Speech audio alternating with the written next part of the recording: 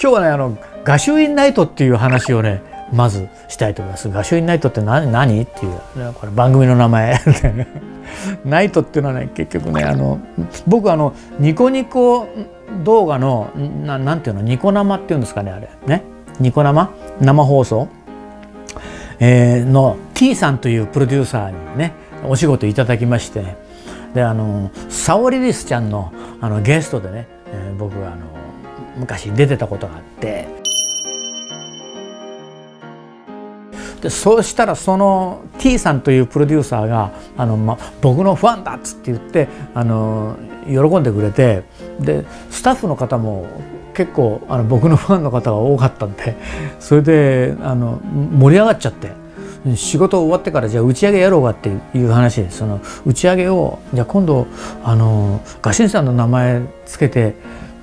ガシュインナイトっていう飲み会にしませんかっていう。いいねっつって。僕その頃あの今はお酒飲みませんけどその頃お酒飲んでたんでね。もう喜んじゃって、いいねって。で普通にやったんじゃ面白くないからじゃああの僕の作品をあの持ってってじゃあこうかけてね DVD 持ってってかけてそれで盛り上がんないって。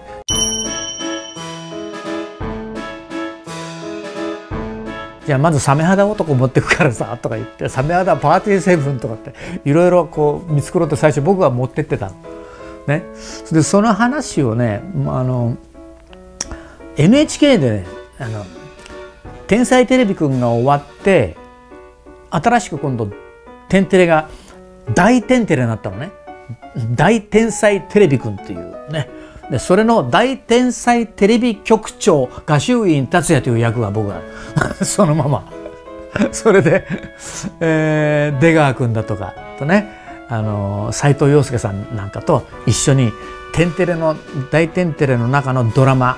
で編成局長の役をやらせてもらってたんですよレギュラーでね。うん、でその時のそのプロデューサーさんがあの YOU さんという方でであの、まあ、その方もですねあの僕のファンで、えー、とってもあのいつもお世話になってるプロデューサーなんですよ。あのその前は名古屋であの NHK さんの、うん、中学生日記をやってたのね。で僕にあの一番最初にその方あの YOU さんはあの脚本も書きますからもう僕の喋りそうなセリフを全部選んで書いてくれて当て書きでね。それであの頭キンキラキンの眉毛も金髪にしてそれで羽つけて妖精ちゃんって。僕僕は妖精ちゃんねで僕が見える女の子はみんな天然なんだよ。っつって。天然の子しか僕は見えないんだよ。なんていう役でねもらってやってたわけですよ。で、えー、それでこの間ニコニコ生生動画のあの仕事で行ったらそこのプロデューサーの方がこういうふうにしてね僕のあの画集院ナイトっていうのをやってくれたんだけどっていう話したら「おっじゃあうちでもやりたいね」って言ってくれて「やりましょうか」っていうことになってそうしたら今度はあの共演者の方とかスタッフの方も呼ぶようになっちゃってねメイクさんとかねあのメイクさんの彼氏とかね、うん、で友達の輪を広げろっつうんでね。それであのみんなで一品ずつ持ってでで、えー、いろんな方がねこう、まあ、友達の友達来てほんで盛り上がってで今度あの DVD かけてでその間に今度はあの僕の CD とかねあのオリジナル曲とかもう絶対もうあの今レコード屋さんでは売ってないような 僕のあのデモテープとかねそういうのを持ってって聴かせてあげたりとかって喜んじゃうわけね。うん、それで盛り上がってそれで「画集院ナイト」も朝までやったりいろんなことバーってやってやってたんですけどねでまあそうやってあの知り合いながらねあのスタッフの方また初めての人もいるわけで今ガシンさんいるからさ本人いるんだよとか言ってその YOU さんが電話かけちゃって「あのガシンさんいい友達呼んじゃうから」とかっつって それでまた呼んでもらってそれで結局そういうつながりなのであの YOU さんのねつながりの方だからあのディレクターさんとかが多いわけだね。ほんでじゃあ今度うちの番組出てくださいよってことになって それがご縁でね。でまた NHK さんでまた違う番組あの、うん、番組出る前にもう先に飲んじゃってて。それでこういう感じであのこういうストーリーでこうやってやってこういう時は合唱員さんこうやっぱりこのウィーンってやった方がいいでしょとかね。そんなあの脚本も書くんでその方がね。じゃあっつってねすごくやりやすいお仕事を頂いてた。そのやっぱりねその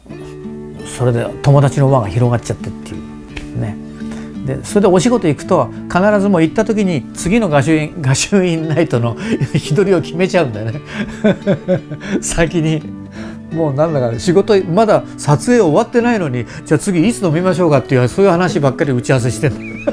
で決定とか言って 先に仕事決めましょうよ。そんななんか面白かったですけどね。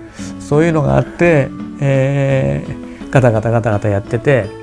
で画集院ナイトで。でその NHK さんのその 大天才テレビくんがもう終わりに近づいてきて最終回に近づいてきた頃に僕が実はあの前にお話ししましたけどあの脳梗塞になってねそれで入院することになってそれでも病院からだいぶ良くなってからなんでまだでも車椅子じゃないと無理だ立って歩けない状態で救急車で手配してもらってであの NHK さんでも車椅子をちゃんと用意してもらってそので立たなくてもいいように座ってずっと言うシーンに変えてもらって台本を。それであの座って話をするっていう編集長がこうに座って喋るっていういうふうにしてもらってあの車椅子で出たんですよその時ほら、ね、出川君とか斎藤洋介さんとかと一緒にねあの大天才テレビくんを。で撮ったわけねでその週が撮ってそしたら次の週になったらもう僕車椅子離してリハビリでもう歩けるようになって車椅子ななしになって「よし大丈夫だよ」っつってバーンって言ってもう次のあの先週は、ね「ごめんなさい車椅子でねご心配かけまして」って言って行ったら今度斎藤洋介さんが車椅子乗ってるわけよ。えどうしたの？足怪我しちゃった。じゃあ今週も座ってやりましょうかってことになって。また座ってやってで最終回座ってやってるんで そんな思い出がありましたけどね。まあまあでもそれからあの何？あのお酒が飲めなくなっちゃったら僕ねあの酒とタバコが原因だってことになって血管詰まってね？俺ってお医者さんの言うこと聞いてで今があるわけです。今ね。今本当に丈夫になって。ね。なのであの最近ねガシュインナイトがあのお酒飲まなくなってからやっぱ少なくなってきたよね。やっぱりなんだか知らないけどもね。でちょっとまたねあの僕はお茶お茶だけ飲んであの画集インナイトやりたいと思いますからぜひ皆さんと一緒にやりたいなと思ってるんですけど。そのうち。ね。あのやりましょうよ。画集インナイトをね。全国的に。